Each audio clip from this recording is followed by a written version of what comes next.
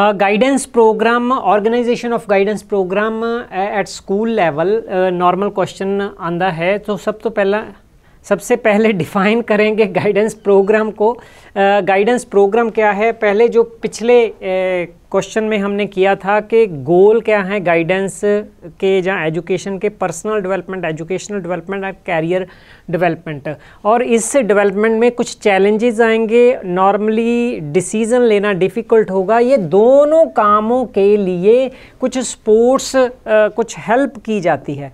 तो ये हेल्प सारा साल कैसे करनी है, वो कैसे, किस स्टेप्स में होंगी? जब वो स्टेप्स को फॉलो करते हैं तो वो गाइडेंस प्रोग्राम हो गया जिसको इम्प्लीमेंट करना है एजुकेशन में इन गोल्स को अचीव करने के लिए। तो इसमें क्या है कि रिसोर्सेज हैं सपोर्ट है चैलेंज वो वही बातें जो रिपीट होनी है पहले वाली, जो बोर्ड पर करके आया हूँ। इसके की कंपोनेंट्स कौन से हैं? इसमें सारी काउंसलिंग सर्विसेज़ हैं कैरियर एक्सप्लोरेशन है प्लानिंग करनी है एकेडमिक हेल्प करनी बच्चों की personal development personal growth anxiety stress depression इनसे बच्चों को निकला, निकालना एडजस्टमेंट करनी है है ना? मतलब सारा साल टोटल प्रोग्राम कैसे हो कि ये तीनों काम पर्सनल भी या इमोशनल भी या सोशनल भी और कैरियर और एकेडमिक सभी साथ साथ चलते रहें इंडिविजुअल के भी और ग्रुप के भी।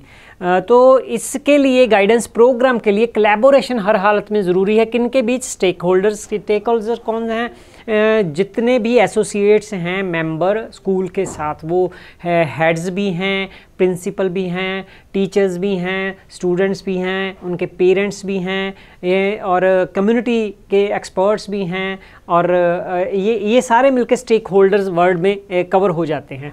ठीक? तो ये इकट्ठे काम करते हैं वो ना गोल जो पहले हमने की है, उनको अचीव करने के लिए, हर गोल में सक्सेस हासिल करने के लिए। तो गाइडेंस प्रोग्राम को लागू करने के लिए कुछ प्री रिक्विजिट्स हैं दूसरी तरफ़ आप हिंदी में जो जिन्होंने देखना है, ऐसे देख सकते हैं यहाँ पर। ये जो है पहला आ गया सॉरी ये यहाँ से शुरू होता है, ये यहाँ से ये नोट करेंगे। मैं यहाँ पर थोड़ा रुक के आ, फिर आगे ले जाऊँगा पॉज करके यह देख सकते हो। ये है मार्गदर्शन की पूर्व अव आवश्यकताएँ। कौन सी हैं? सबसे पहले ए अगर तीन पाँच पाँच ये रिक्वायरमेंट्स हैं नॉर्मली कि एक गाइडेंस कमेटी बनाई जाएगी। गाइडेंस कमेटी में मिनिमम सात, आठ मेंबर होंगे। ये रेड कलर वाला आप ज़्यादा नोट कर सकते हो। और कमेटी मेंबर में स्टेक होल्डर्स होंगे। मतलब कि उसमें एक पेरेंट भी हो सकते हैं, दो टीचर भी हो सकते हैं, एक हेड भी हो सकता है, दो स्टूडेंट्स भी हो सकते हैं। ऐसे मिल ये कमेटी बनाएगी और प्रिंसिपल नॉर्मली चेयरमैन बन जाता है। दूसरी है बजट है ना? बजट एलोकेशन किसके लिए? बजट पैसे या फंड्स चाहिए? कि जो एक्सपर्ट्स आएँगे, उनको ऑनरेरियम भी देना है स्पीकर गेस्ट स्पीकर आते हैं ट्रांसपोर्टेशन फॉर स्पेशलिस्ट हैं तो रिसोर्सेज नए नए टेस्ट चाहिए साइकोलॉजिकल टेस्ट है है ना लिटरेचर चाहिए information occupational information different occupation के बारे में जो कलेक्ट करनी है एम्प्लॉयबिलिटी अपॉर्चुनिटी कितनी है उसकी एलिजिबिलिटी ये ऐसी इन्फॉर्मेशन सारी कलेक्ट करनी है। वो सारी कलेक्ट करने के लिए लिटरेचर जो चाहिए, वो पैसे चाहिए उसके लिए। इंफ्रास्ट्रक्चर है गाइडेंस रूम है सेल है इक्विप्ड होगा। ये नहीं है कि रूम है, काफ़ी है, उसमें फर्नीचर है रिसोर्स है मटीरियल जो रिक्वायर्ड है, जो डिफरेंट इंस्टी इंफॉर्मेशंस हैं। ऑक्यूपेशनल है पर्सनल है डाटा कीपिंग है, वो सारा कुछ रखा जाएगा। और पेरेंट्स एंड कम्युनिटी एंगेजमेंट उनको शामिल साथ में किया जाएगा। उनको इन्फॉर्मेशन दी जाएगी, उनके साथ सेशन लिए जाएँगे। न्यूज़ लेटर उनको डिस्ट्रीब्यूट की जाती है। आउटरीच इवेंट है कि जहाँ तक पहुँचना डिफ़िकल्ट है, वहाँ तक पहुँच के वहाँ कम्युनिटी के मेंबर के साथ संपर्क करके अपने सेल के साथ जोड़ना है। तो ये प्री रिक्वायरमेंट्स है। फिफ्थ है ब्रीफिंग करनी। सबको जो ये स्टेक होल्डर्स हैं स्टाफ है स्टूडेंट्स हैं, उनको गाइडेंस प्रोग्राम के ऑब्जेक्टिव बताने पर्पस बताने इम्पॉर्टेंस बतानी पार्टिसिपेशन इन्वॉल्व करनी सक्सेस कैसे हासिल करनी है है ना? सक्सेस तक हम कैसे पहुँचेंगे, ये सारा कुछ शेयर करना। तो ये प्री रिक्विजिट हैं ये आप लिख भी सकते हैं, छोड़ भी सकते हैं। नॉर्मली ये पॉइंट आप हर हालत में लिखोगे कि स्टेप्स कौन से हैं। यहाँ पर हिंदी में साथ में दिखा रहा हूँ कि आवश्यकताएँ कौन सी हैं। ये पहला पॉइंट है, ये दूसरा बजट वाला पॉइंट आ गया। ये तीसरा ढांचा आ गया, ती, चौथा आ गया, ये माता पिता और समुदाय जुड़ाव और पांचवा आ गया, ये स्टाफ और छात्र ब्रीफिंग है ना? उसको मैंने किया था। नेक्स्ट है मार्गदर्शन कार्यक्रम के आयोजन के लिए कदम। यहाँ पर अंडरलाइन आ जाएगी। यहाँ लेकिन मैंने इंग्लिश में की हुई है। तो फ़र्स्ट पॉइंट है survey available for guidance service simple कि कौन सी सर्विसेज़ अवेलेबल ऑलरेडी हैं या किस सर्विस की कमी है है ना? आ, ये जानना है।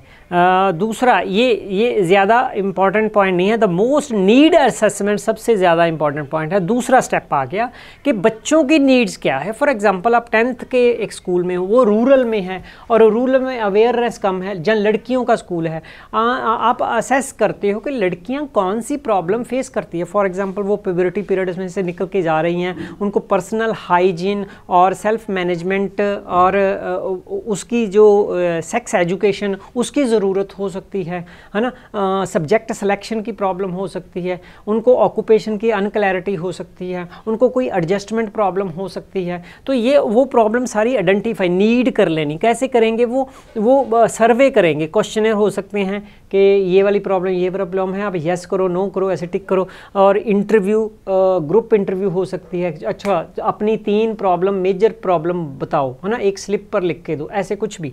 कंसल्टेशन हो सकती हैं ऐसे आ, जो है नीड असेसमेंट होगी ये सबसे ज़्यादा ज़रूरी है। वो जो इन्फॉर्मेशन नीड की कलेक्शन होगी उसी के बेस पर नेचुरली मैं ऐसे ही गाइडेंस प्रोग्राम नहीं बना दूँगा। अगर नीड उनकी पर्सनल हाइजीन की है तो मैं उस पर आ, आ, जो है बींग ए प्रिंसिपल उस पर काम करूँगा। अगर सब्जेक्ट सिलेक्शन किया एडजस्टमेंट किया, उसको मद्देनज़र रखते हुए पर्पज़ ऑब्जेक्टिव बनाऊँगा और रिसोर्स अवेलेबल अकॉर्डिंगली कराऊँगा। तीसरा है कि ये अब जो कर लिया है, उस पर स्टाफ का ओपिनियन लेना है है ना? उनसे डिस्कशन करनी है कि ये प्रॉब्लम को प्रोग्राम को कैसे बेटर बनाया जा सकता है। हमने ये नीड असेस की है, आप कोई ऐड करना चाहते हो तो ऐसी बात होती है। फिर है ऑब्जेक्टिव आप गाइडेंस प्रोग्राम के बनाते हो।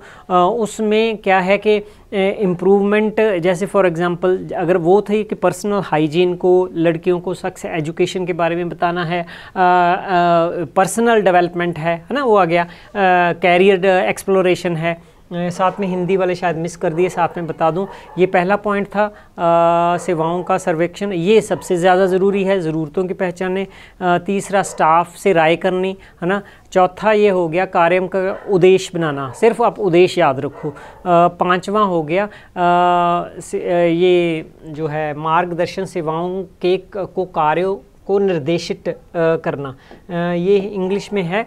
स्पेसिफाई करना फ़ंक्शंस को फ़ंक्शन को स्पेसिफाई करना कि किस के काउंसलर की कैरियर एडवाइज़र की टीचर की अदर पर्सोनल की क्या क्या इन्वॉलमेंट होगी क्या क्या वो काम करेंगे। फिर उनको ड्यूटी दे देनी कि यार आपने ये करना है काउंसलर का ये काम होगा टीचर्स का आपका काम है हेड्स का ये काम है ये ड्यूटी दे दी है ना? आ, ये साथ में हिंदी में बता दूँ छेवा हो गया कर्तव्य सौंपे जाते हैं उसके बाद वार्षिक योजना बनाई जाती है। ये मोस्ट इंपॉर्टेंट हो गया कि अब सारे साल की एक्टिविटीज़ प्लान की जाएँगी आउटलाइन उसकी इवेंट्स क्या क्या करवाए इस मंथ को इसको ये करवाया जाएगा इस मंथ में कैरियर एक्सपर्ट बुलाए जाएँगे। इस मंथ में हम जो है इस इस इंडस्ट्री में या इस इस ऑक्यूपेशन में विज़िट के लिए जाएँगे। यहाँ पर हम जो एडजस्टमेंट के लिए एक साइकोलॉजिस्ट को बुलाएँगे ये ऐसे प्लानिंग आप करते हो, है ना?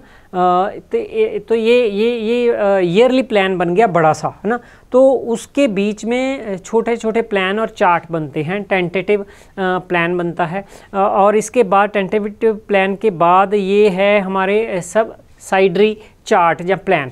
ये इन दोनों में डिफरेंस समझ लेना चाहिए। यहाँ पर हम समझेंगे ये चार्ट है जिसमें डिटेल होगी कि गोल्स क्या हैं ऑब्जेक्टिव क्या है प्रोग्राम के टारगेट पॉपुलेशन क्या है। फॉर एग्जांपल टेंथ की वो लड़कियाँ जिनको पर्सनल हाइजीन में प्रॉब्लम आ रही है टारगेट पॉपुलेशन टाइम लाइन क्या है उन, उनको कितने समय में ये ये एजुकेशन दे दी जाएगी है ना?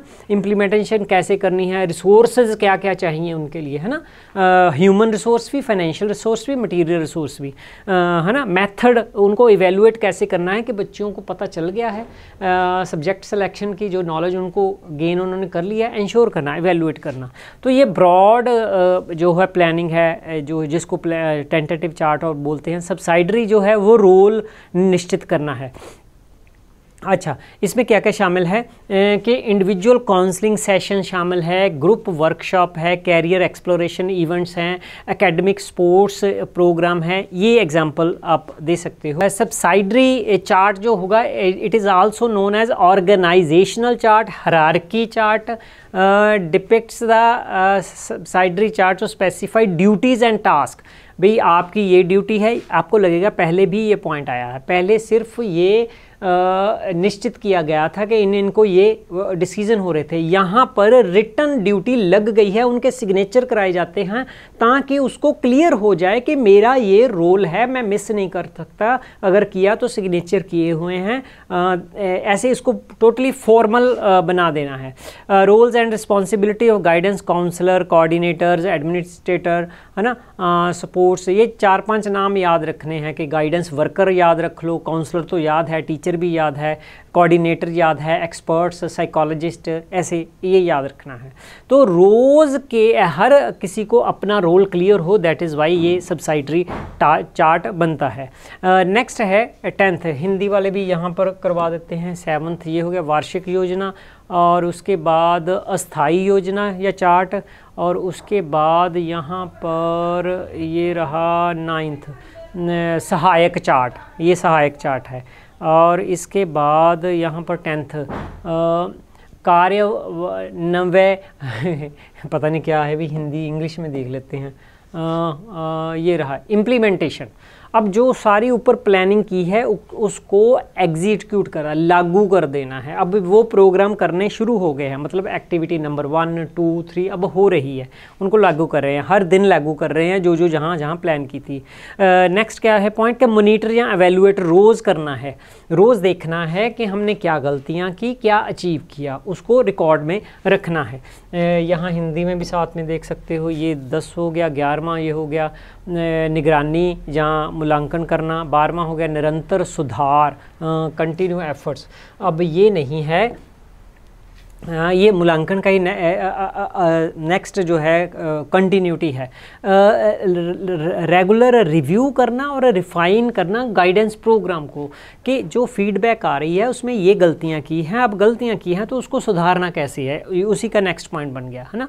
इवेल्युएशन की जो फाइंडिंग्स होंगी, उसके अनुसार जो हैं, जहाँ बच्चों की नई नीड्स सामने आई हैं, उसके अनुसार गाइडिंग प्रो, प्रोग्राम को थोड़ा थोड़ा चेंज करते रहना। नेक्स्ट है स्टाफ ट्रेनिंग या प्रोफेशनल डेवलपमेंट तो नई स्किल्स और नॉलेज से इंट्रोड्यूस करवाते रहना। फॉर एग्जांपल काउंसलर है काउंसलर के साथ कुछ टीचर्स हैं तो एक्सपर्ट्स बाहर से आते हैं वर्कशॉप लगाते हैं जहाँ उनको अपडेट करते हैं ये नई नॉलेज है नए प्रोफेशन है नए तरह से ये ऐसे एडजस्टमेंट को बेटर किया जा सकता है वगैरह। नए टेस्ट हैं ये लगाए जा सकते हैं ऐसी बातें जो उनको प्रोफेशनल डेवलपमेंट करनी है। ये रहा आपका निरंतर और तेरवा रहा व्यवसायिक विकास। अभी जो बात की है सहयोग और साझेदारी तो ये कॉमन पॉइंट है, हर जगह आएगा। जहाँ सहयोग और साझेदारी आता है पॉइंट आपने क्या करना है कि आपने तीन चार जनों के नाम लेने हैं, जैसे आ गया टीचर आ गया काउंसलर आ गया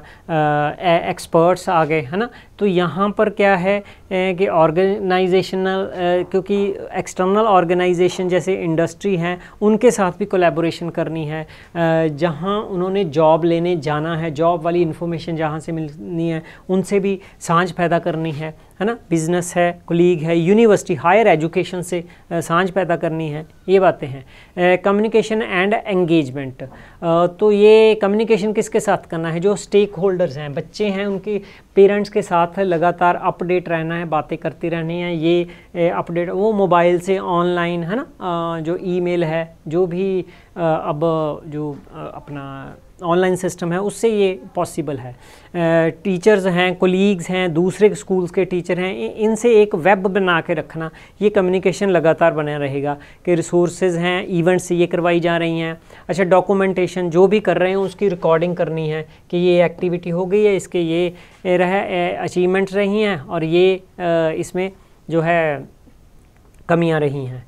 नेक्स्ट uh, है last point documentation and reporting तो प्रोग्राम uh, की टोटल एक्टिविटीज़ की आउटकम रिजल्ट्स क्या रहे हैं कितना खर्चा आया है ये बातें सब लिख के सिस्टमेटिक रखनी है। तो ये ऐसे गाइडेंस प्रोग्राम आप ऑर्गेनाइज करते हो कर सकते हो तो ये स्टेप्स आपने लिखने हैं। हिंदी में आपने ये करना है यहाँ तक। Thank you doctor Tirath Singh लॉन्ट